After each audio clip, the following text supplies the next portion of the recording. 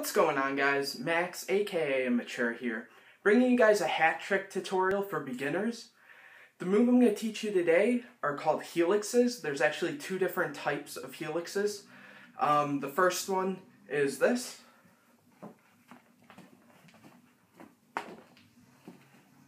And the second one is when you're not holding it from the back, but instead from the brim, and it's the same movement. Um, the big difference there is uh, how many hats you're holding at the time. I know I just showed two examples, only using two, but I'll explain that in a bit.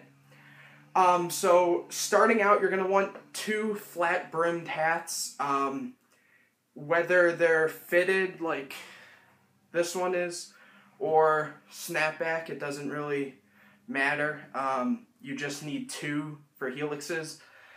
Um, helixes are mostly used as transitional moves when you're in between different hat tricks and you're just kind of it's, it's almost like filler but it has a cool illusion to it like the waving.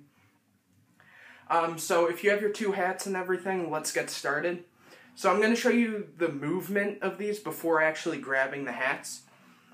And what the movement is is it's kind of uh, I don't exactly know how to describe it. Um, kind of like a digital move like this, how it kind of wraps around, almost like making a hourglass. So what you're going to do is you start with your wrists together, and then the way I do this is I move my left wrist over my right, and my right comes down on an angle towards my left then I roll here so that my left wrist changes to face the left, and then my right does the same, and then my left comes down, the right comes up, and they switch and they continue that same motion. And that's the motion you're going to be doing. And you don't, once you get good at it, your wrists don't need to be together. It's actually going to help if they're apart a bit. And so now that you guys have the motion down, grab your two hats. And um, the first way is when you're holding the brims. This way is normally done if you only have two hats. Um, and so you grab it about the middle of your brim and you put your hands in that same starting position. And again, it's the same motion. Here's it slowed down so you can kind of see the position of the hats as they go around.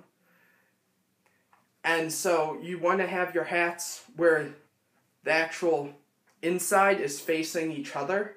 You can technically do them like this, but it makes so the movements have to be farther apart. So start with them together. And again, it's just the left goes over, right goes under.